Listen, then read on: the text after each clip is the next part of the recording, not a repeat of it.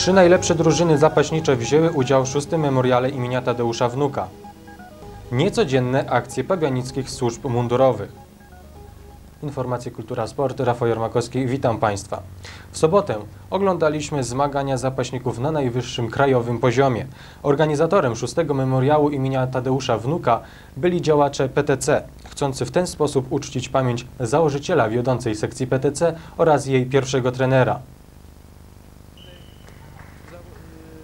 Tegoroczny memoriał rozgrywany był w konwencji trójmeczu pomiędzy gospodarzami a Wisłoką Dębica i GKS-em Piotrkowią. Minimalne zwycięstwo odnieśli gospodarze, rewanżując się Piotrkowi za ubiegłoroczną porażkę. Indywidualnie największe wrażenie pozostawił występ Grzegorza Szyszki, który walcząc w wyższej kategorii wagowej zdeklasował przeciwników, zwyciężając ich w obu meczach przez przewagę techniczną. Drugie miejsce zajęła Piotrkowia, trzecie Dębica. Więcej z tego wydarzenia sportowego w jutrzejszych wiadomościach sportowych. Dzisiaj o godzinie 10 przed jednym z wieżowców przy ulicy Wyspańskiego doszło do niecodziennej akcji. Mieszkańcy wieżowca przy ulicy Wyspiańskiego 1 powiadomili administrację nr 2 PSM-u, że na szóstym piętrze od ponad pół roku jest otwarte okno. Kierownik administracji podjął decyzję o wejściu do mieszkania odpowiednich służb przez okno, aby nie zniszczyć zamkniętych drzwi. Ponieważ czynsz za mieszkanie był opłacany regularnie, zachodziło podejrzenie, iż w mieszkaniu tym mogło się coś wydarzyć. Straż pożarna przy użyciu drabiny dostała się do mieszkania. Oprócz kilku gołębi w pomieszczeniu nikogo nie znaleziono. Jak powiedział nam kierownik administracji nr 2 Figiński, to cud, że podczas największych mrozów nie popękały w tym mieszkaniu kaloryfery, co mogło spowodować zalanie kilku kondygnacji bloku. Akcja zakończyła się zamknięciem od zewnątrz i zabezpieczeniem okna przed ponownym otwarciem. Natomiast około godziny 12 na podwórzu przy kamienicy przy ulicy Kościuszki 13 wydarzyła się następna niecodzienna akcja. Co się stało? No, pies tutaj chodził po podwyżu, tutaj gdzie rodzice mieszkają i skakał na sąsiadów spod trzynastki, spod jedenastki na kościuszki. Później powiadomiliśmy straż miejską, przyjechali, pojechali po, do schroniska po weterynarza czy po kogoś. No i go w tej chwili złapał. Była próba na zastrzyk, ale się nie udało. Pies był zwinniejszy, ale pan go złapał. To wszystko. E, ale ten pies nie jest z tej posesji tutaj. Nie, nie wiadomo, bo taki sam pies ma kolega tutaj właśnie spod trzynastki i nie jest pewne, czy to jego, czy to nie jego. Dopiero się wyjaśni, jak kolega przyjdzie z zakładów mięsnych z pracy. No to będzie wiadomo, czy to jego, czy nie jego. Szykują się podwyżki. Dziś rano radni z Komisji Działalności Gospodarczej i Promocji Miasta oraz Komisji Gospodarki Komunalnej zastanawiali się nad propozycjami nowych czynszów, opłat za posiadanie psów, podatków od nieruchomości i środków transportu. Zarząd miasta proponuje, by w 1999 roku lokatorzy mieszkań komunalnych płacili złoty 30 za metr kwadratowy. W tej chwili stawka bazowa wynosi złoty 10 za metr kwadratowy. Wzrośnie też podatek płacony przez e, właścicieli psów. W bieżącym roku płaciliśmy 26 zł 40 groszy. W przyszłym będzie wyższy o 2 zł 60. Będziemy musieli płacić 29 zł. Władze miasta proponują zmiany w wysokościach podatków od nieruchomości. I tak, za budynek mieszkalny yy, bieżą, w bieżąc, yy, będzie wynosił 35 zł za metr kwadratowy. Za budynki, w których prowadzi się działalność gospodarczą 12 zł 28 groszy. Za garaże 4 zł 46 z- groszy i za komórki oraz inne 2,46. O tym, czy i o ile wzrosną nam opłaty, radni zdecydują na przyszłej sesji. Okres e, świąteczny sprzyja obdarowywaniu najbliższych. W ostatnim czasie dwóch świętych Mikołajów odwiedziło Państwowy Dom Dziecka w Porszewicach. Jednym z nich była telewizja kablowa Gosat. Paczki wręczono jednej z grup przebywających w domu dziecka. Paczkach znalazły się owoce, słodycze oraz podkoszulki i czapeczki firmowe. Grupa otrzymała również radiomagnetofon ufundowany przez prywatne osoby. Drugim Mikołajem była Młodzieżowa Rada Miasta Pabianic, która przy współpracy z Wydziałem Infrastruktury Społecznej Urzędu Miasta, firmą Magdin, apteką na Zamkowej 1 oraz z tajemniczym sponsorem z Łodzi obdarowała 60 wychowanków słodkimi paczkami. Osobami, które pomogły w tej akcji były wiceprzewodniczący Rady Miasta Zbigniew Dychto oraz szef rejonowego sztabu ratownictwa PLCB Radio Piotr Zagalski. Święty Mikołaj był już wszędzie. Jeździł autobusem MZK, jeździ nadal w taksówkach Trzy Korony, spaceruje w domu handlowym SDH Trzy Korony. Nie było go jeszcze na stacji benzynowej. Pora więc, by i tutaj zawitał. E, Witam na stacji MacPier w imieniu właścicieli i chciałbym zaprosić Państwa na wizytę na naszej stacji w dniach od 22 do 24 grudnia. W godzinach od 8 do 20 będzie na stacji Mikołaj. Zapraszamy do odwiedzenia naszej stacji. Do zobaczenia.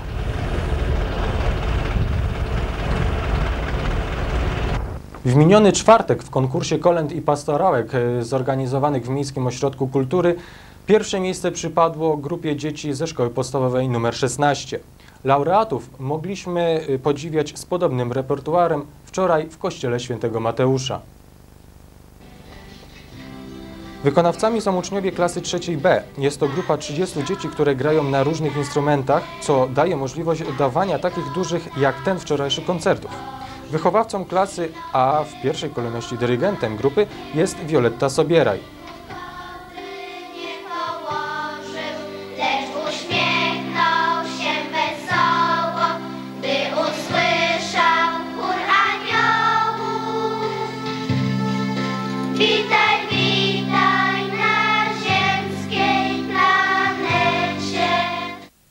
Dzieci są bardzo chętne, bardzo y, umuzykalnione, wobec czego jest mi łatwo. Y, Zresztą już od pierwszej klasy moja klasa y, ma dwie godziny muzyki tygodniowo, wobec czego mam więcej czasu na zorganizowanie właśnie, czy przygotowanie jakichś imprez.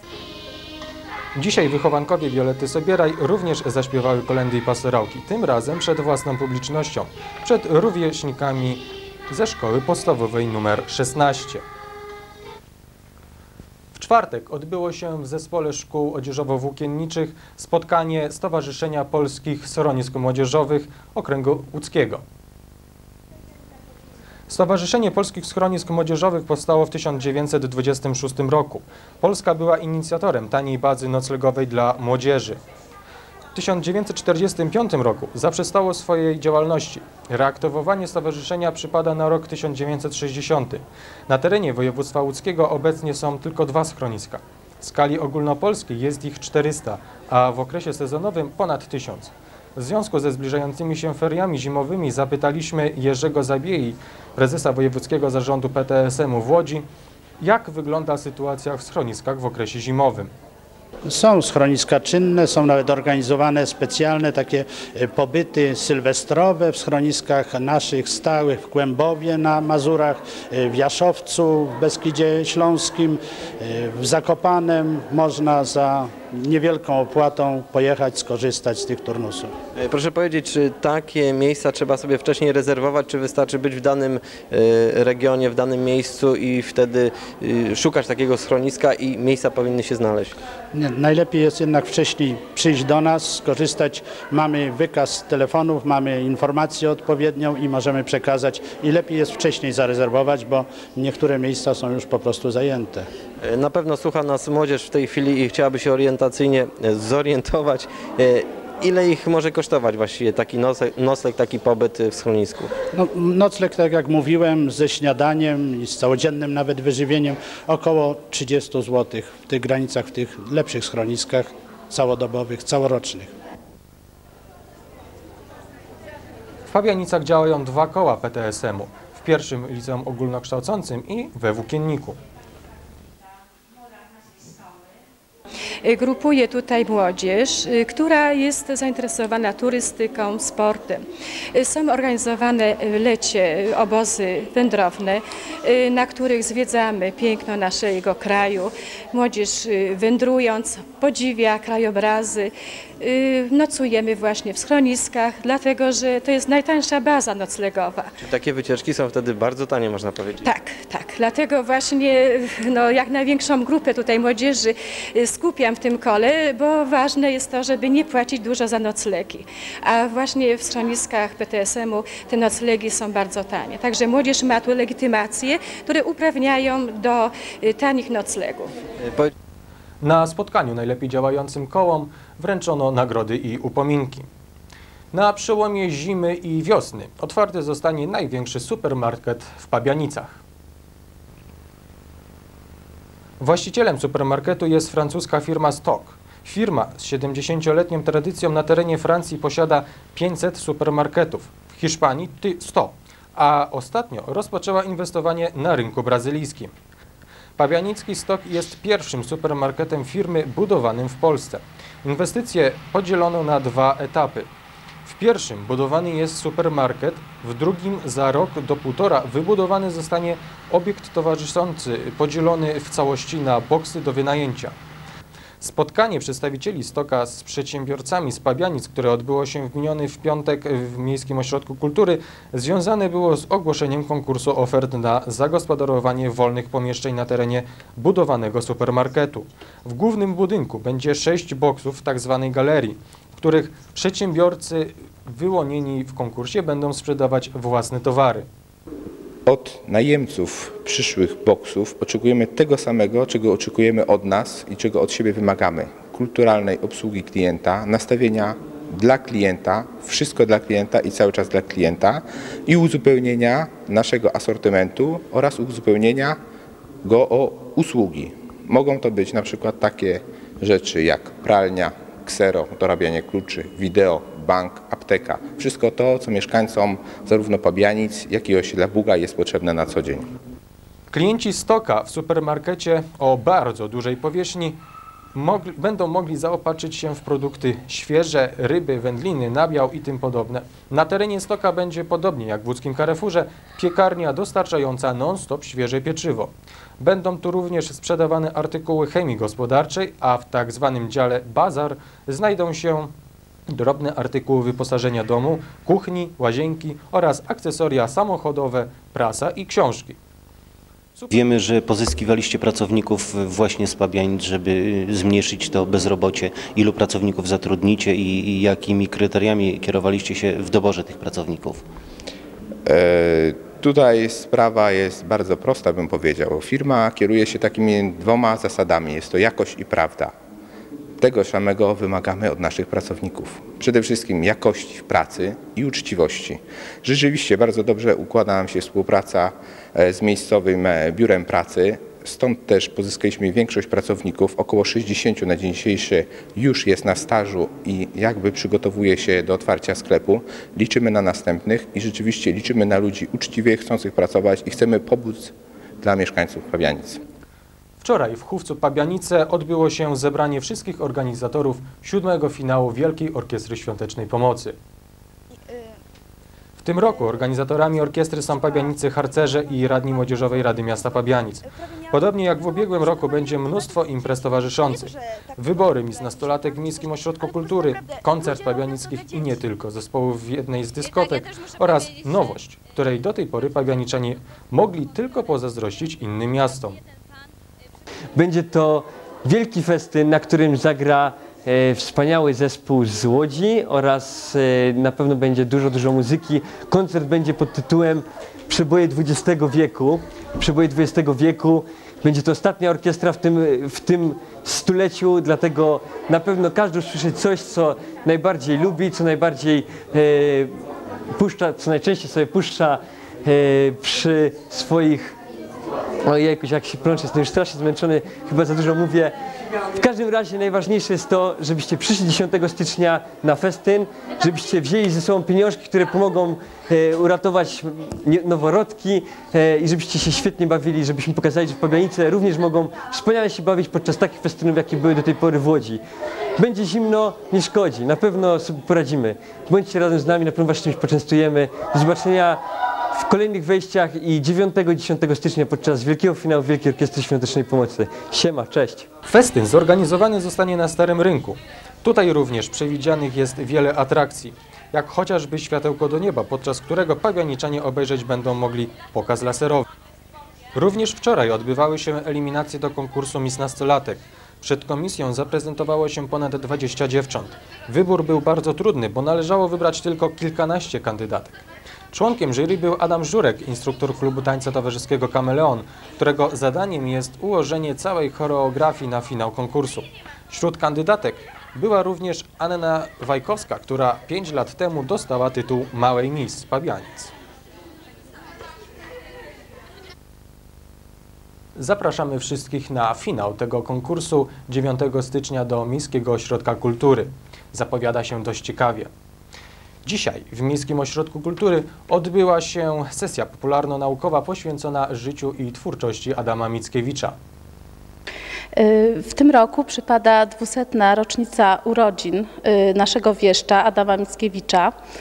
Wydaje mi się, że y, tak wybitny y, poeta zasługuje na to, aby rzeczywiście w tak dostojny i uroczysty sposób uczcić tę rocznicę. Y, Pomysł myślę, że zrodził się y, również stąd, że mm, poezja Adama Mickiewicza jest w kanonie lektur szkolnych, dlatego też młodzież zna teksty naszego wieszcza. I myślę, że warto przybliżyć i pokazać Mickiewicza troszeczkę z innej strony. Y, Stąd temat naszego, y, tytuł naszego, przepraszam, spektaklu y, brzmi Mickiewicz niejedno ma imię. Spektakl przygotowała młodzież z drugiego liceum ogólnokształcącego z klas humanistycznych drugiej E i czwartej E. Sesja dzisiejsza podzielona była na dwie części. Pierwsza artystyczna, druga referatowa. Lidia Jurek przygotowała referat na temat kobiety w życiu Adama Mickiewicza. Natomiast e, drugi, Moniki Kamińskiej, poświęcony był odbiorowi pana Tadeusza. Dzisiejszy e, występ, dzisiejszy spektakl, e, dzisiejsza sesja to nie wszystko. Planujecie Tak. Państwo jeszcze coś innego? Tak. To znaczy y, już właściwie od y, września, od 1 września y, staramy się uroczyście mm, przyjąć tę datę najważniejszą, czyli 24 grudnia, bowiem jest to data urodzin poety. I y, oczywiście tę sesję popularno-naukową y, poprzedziły uroczystości. Mianowicie y, odbyliśmy wycieczkę do Muzeum Regionalnego w Radomiu. Była to przepiękna wystawa właśnie poświęcona panu Tadeuszowi, wielkiemu eposowi Mickiewiczowskiemu. Znaleźliśmy się y, w y, odpowiednim klimacie, w scenerii właśnie Domku Soplicowskiego. Oczywiście planujemy również wyjazd do Śmiełowa, do Muzeum Adama Mickiewicza. Y, Jak również y, obejrzała młodzież film y, pod tytułem Życie i twórczość Adama Mickiewicza. Planowany jest również quiz poświęcony twórczości poety oraz konkurs recytatorski, w którym wykorzystane zostaną utwory Mickiewicza. Uczniowie drugiego LO pokazali dzisiaj, że można również i tak na wesoło przyswoić sobie niektóre utwory polskiego wieszcza. Piłko wielka, ojczyzno moja, ty jesteś jak zdrowie. Ile cię trzeba cenić? Polak już wie, gdzie stracił. Dziś piękność twą w całej ozdobie. Widzę w Eurosporcie i tęsknię ku tobie. Piłko wielka, co wielkie zapełniasz stadiony i często świecisz w bramce. Ty, co ród piłkarski, szczęśliwisz z jego wiernym ludem. Wróć nam do Polski też jakimś cudem. Oddam się cały pod Twoją opiekę. Lecz spraw, bym z chęcią unosił powiekę, bym często witał u stadionu progu i za swe szczęście mógł dziękować Bogu. I to już e, na dzisiaj ostatnia informacja. Ja zapraszam na czwartkowe wydanie wiadomości KS. Do zobaczenia.